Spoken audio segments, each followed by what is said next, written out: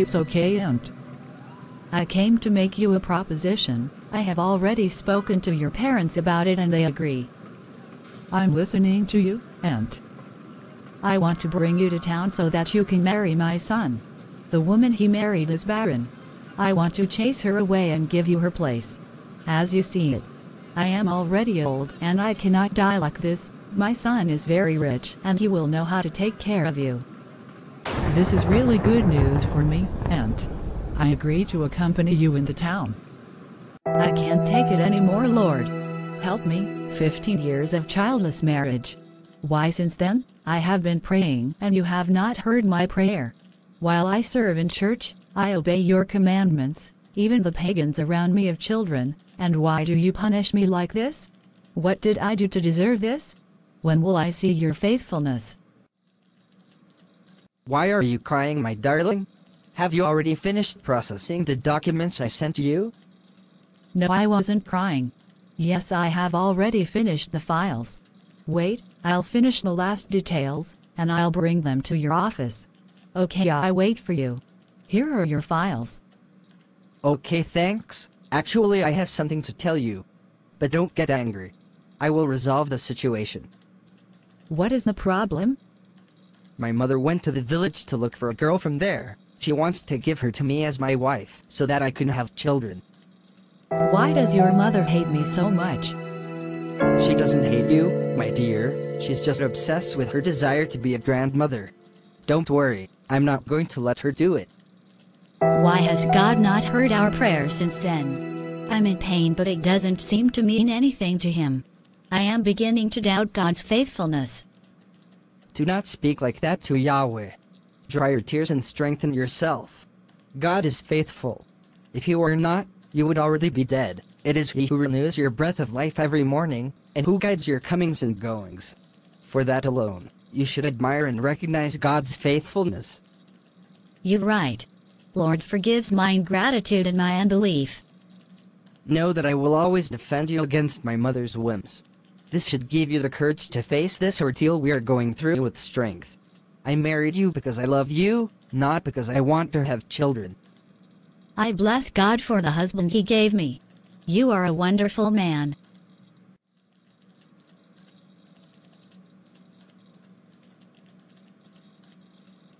Tonight, you're going to sleep in my place. Tomorrow we're going to wait for him to go to work, so you can bring your suitcase and get settled in before they return. Okay, Mom. But know that you must assert yourself. And don't let yourself be mistreated by my daughter-in-law. You have to show my son that you are worthy of him. Okay, Mom. I'm going there to stay. Nothing will make me leave this house.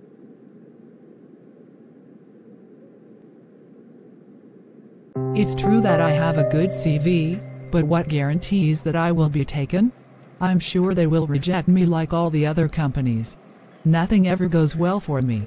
I'm just failing. And what's more, I pray morning and evening. It feels like the sky is closed over my head. The demons are constantly chasing me, and won't leave me alone. Where is God in all this? I can't take it anymore. I am shocked and amazed at the way some of God's children pray. They pray to none at the same time their prayer with words of unbelief. Do they not know that words of doubt are powers that act negatively? In James 5 verse 6 it is written that he who asks must do it in faith, without doubting. For he who doubts is like a wave of the sea, tossed by the wind and driven aside by others. His way of praying does not allow God to open the door to work for her. May it be done to her, according to her faith, according to the words she has liberated. Good evening, madam. Your secretary asked me to come by today at 5 p.m. Here I am. Okay, Miss Amy. We have reviewed your CV. Normally we were supposed to take you but there is a small situation which means that we can no longer do it. However, leave your number with the secretary. If an opportunity arises for you, we will call you. I knew it, I felt it already since I left home, that I would not be retained. I'm not even surprised. Really sorry, miss. Lord my God, give me a child, I beseech you, see my tears, Lord, and have mercy on me. Save me from my mother-in-law's wickedness. Hear me as you heard Sarah, Rebecca, and Anne. In the name of Jesus I prayed amen. God is not impressed by your crying. It's your faith that will move mountains, not your tears. Darling, would you be willing to do 15 days of fasting and prayers with me? For what reasons? What do you mean for what reasons? We have a mountain in front of us. I really want this year we can have a child. I am ready to fast this whole year if necessary. You know, I don't care if we have kids or not. That's why I don't seem to get too involved in this thing with you. But how you care so much. Let me tell you this. It is of no use to you to fast if you do not believe. You lament all the time like when the Israelites were in the desert. The Lord put many of them to death because of their unbelief. If you don't pray believing that you have already received, you will never be able to have the child you are looking for. So I don't want to waste my time and pray that you come from behind to cancel everything.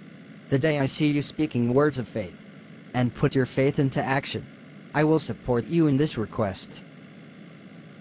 Oh, I have an idea. I'm going to help you to listening a message on faith that the pastor has preached. And I will also advise you to read and meditate the Word of God more frequently. Thank you, my husband. I will do it. The house is very big and beautiful. Have you got all your stuff set up yet? Yes, my aunt. I've already put everything away. Yes, my aunt. Okay, go cook for your future husband before he comes home. Today I won't do anything else. I'm going to listening to the teaching and after that, I will read the word of God the more I can. Good evening, my son. Good evening, Mother. What is the honor of your visit worth to me? I just came to warn you that I have already moved the mother of your children into the house. Her name is Anna. Right now, she is preparing your favorite dish for you. Ah, good. Okay, thank you, Mom. It's understood. I'll go meet her at home this evening. Thank you for your efforts. As you have completed your mission, you can return to the village with peace of mind. I will take good care of the one you gave me. You have always been a good, obedient son. I knew you weren't going to object. Okay, I'll go greet your wife and go back. Great. Goodbye, Mom. Goodbye, my son. Welcome, Mom. Please, spare me your greetings. Tell me instead, when are you going to leave my son's life? I've already brought him the one he needs. She is already living with you at the moment. She is the one who will give me my future grandchildren. Ah, super. What good news. Thank you for bringing this woman for my husband. How so? Aren't you angry? No, Mother. The joy of the Lord is my portion. I would also like to take this opportunity to announce that I am pregnant. Serious? Are you not lying to me? No, Mother. I'm really pregnant. Congratulations, my daughter. I apologize for bringing another woman. Don't worry, Mom. I understand you. Well, goodbye. Take good care of yourself. Have a good trip, Mom. Why didn't you tell me your wife is already pregnant? It would have saved me from having to go to the village to look for another woman for you. I didn't want to frustrate you, Mom. If you don't want to keep her at home, find a way to send her back to the village. I no longer have time to return to drop her off in her village. I have a lot of files waiting for me back home. Okay, Mom. Why did my wife lie that she is pregnant? I'm going to go ask her. Why did you lie to my mother? I told her that to get her to leave me alone, but I also said it as an act of faith. I truly believe that everything I need is already within me. After I finished listening to that teaching, I realized that if the God who raised Jesus from the dead dwells in me, I cannot be barren. I also believe that God has already given me everything I need, since the first day I prayed, as was the case with Daniel. So from today on, I will speak and act like a woman who is already expecting a child, to provoke the supernatural. This child that I desire is no longer far from me, he is already in my womb by faith. Oh, yes! I'm glad to see the radical changes that have taken place in your system of thought. You must continue to listening to the teaching and read the word of God as necessary, and continue to manifest this gigantic faith. From today I will begin to give thanks to God, as if I have already received. Great, my darling. Let's go to the house to bring out this famous Anna. I hope he will like what I prepared. Welcome, darling. Why do you call me like that? Do you yourself feel comfortable coming to stay in a stranger's house like that? Don't ever call me like that again. Get up and grab your things. I'm going to take you to the park, to return to your village. But why are you treating me like this? I came here to give you a child. Shut up and get out of my house. I don't want to upset my wife. God of faithfulness and all power, I ask you for forgiveness for the unbelief I have shown during all these years. I ask your forgiveness for the lamentations that I uttered all day long. Today I decide to trust you, because you are a trustworthy God.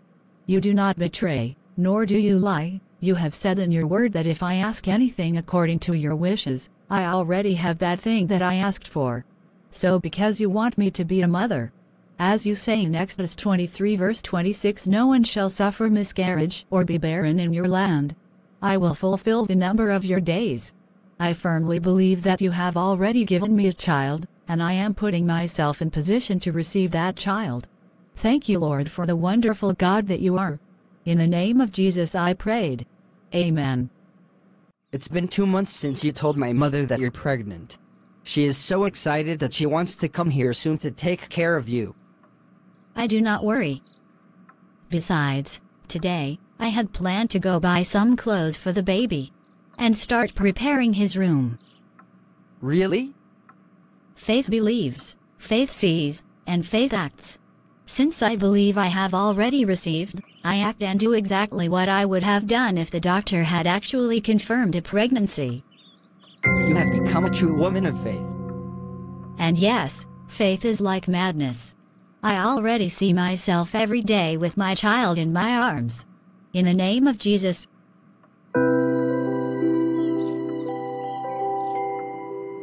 I declare that this position is for me. I receive my work in the name of Jesus. Thank you, Lord, because you precede me and open the door of work before me. I give you thanks because I know you have already done so. May it be done to you according to your faith. May the work be given to you, and may the child be given to Estelle. I am pleased to announce to you, Madame Estelle, that you are finally pregnant. Glory to God. I expected this and I received according to my faith, my deeds, and my words. Thank you, God, for faithfulness.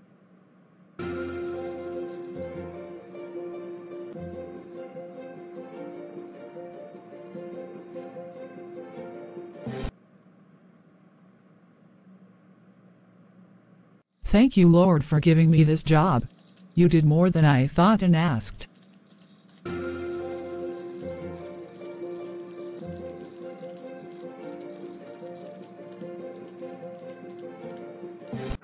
Lamentations and doubt block the fulfillment of prayers.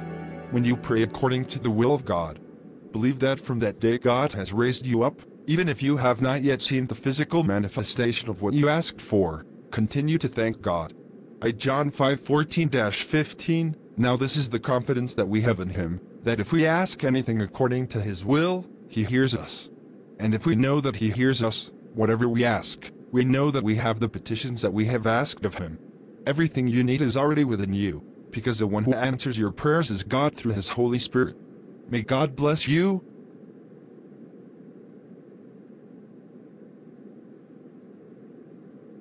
Whether this is your first or 4,000th day as a Christian, or you aren't sure you really want to be a Christian yet, you've probably heard of this thing Christians call faith.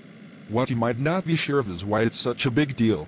You'll hear people talk about it when things are good. I knew things would turn around if I just had faith. You'll hear people recommend it when they're not sure what to say. I'm sorry you're going through a rough time. Just have faith. And, when others seem unfazed by life's obstacles, they might tell you it's because they have faith. But what does that mean? Hebrews 11, 1 defines faith as confidence in what we hope for and assurance about what we do not see. Faith is the result of believing the gospel, the good news that Jesus died for our sin and made a way for us to be right with God and spend eternity in heaven. When we allow the reality of the gospel to affect every part of our lives, it changes the way we think, which changes how we behave. Faith causes us to act on what we haven't experienced yet, to believe promises in the Bible that haven't been fulfilled yet, and to trust God when our situations haven't changed yet. Three ways faith changes your life practically 1. Faith in God gives you strength. When I say strength, I don't mean a physical strength to fight bullies. I mean the inner resolve to withstand turmoil. Faith gives you strength, the inner resolve to withstand turmoil. The writer of Psalm 138 says of God, In the day when I cried out, you answered me, and made me bold with strength in my soul. When we are right with God, we never go into turmoil alone. We have the creator of the universe on our side. For example, take David and the story of how he killed Goliath 1 Samuel 17. At the time, David was a shepherd boy, not a warrior. But when he saw Goliath mocking God's people, David approached the king and asked to go down and fight. Picture the babysitter next door or the kid who delivers your papers telling the president, let me handle this one. David's ability to not be shaken by Goliath's size or insults was the result of David's faith in God. David tells the king, The Lord who rescued me from the paw of the lion and the paw of the bear will rescue me from the hand of this Philistine. 1 Samuel 17:37. David had faith that God would defeat the giant and deliver his people, so David stood up to the king and then to the giant. 2.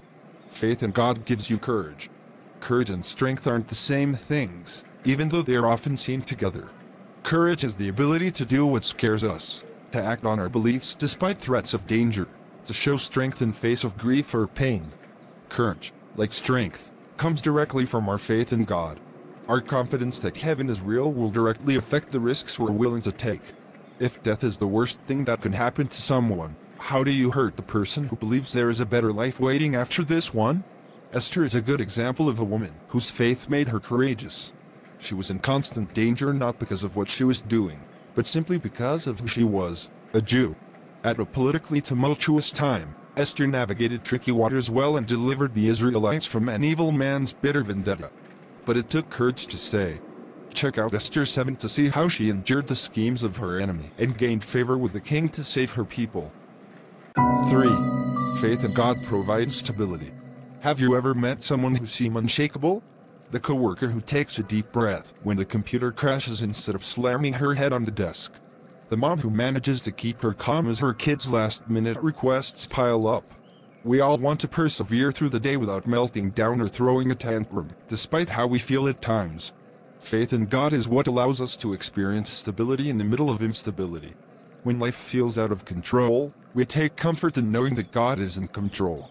In the Bible, Daniel's life provides several examples of stability in the face of instability. Daniel and many other Israelites were kidnapped and forced to join the Babylonian king's service. This meant new food, new clothes, new language, new customs, and new everything. But even though Daniel was a hostage, he stayed true to what he knew about God. He wouldn't eat the things that God had told the Israelites not to eat, and God blessed him for it. Daniel 1 1-8. Daniel was eventually promoted into the king's royal court, where some people didn't like his worship of God instead of the king. Government officials tried to pin something on Daniel, but they could find no corruption in him, because he was trustworthy and neither corrupt nor negligent. Daniel 6, 4. They plotted against him, but Daniel stayed true to God, just as he had done before. Daniel 6:10. Faith can do a lot of things in your life if you let it. It will grow you and allow you to do things you never thought yourself capable of. It will turn you into a dreamer who really believes that with God, all things are possible. Matthew 19:26. What next step can you take in faith today? Brothers and sisters, that's it all for this video. If you liked this video, feel free to like it, comment and share around you so that many souls be saved and restored. And don't forget to subscribe to the Sentinel channel so you don't miss any of our upcoming videos. God bless you.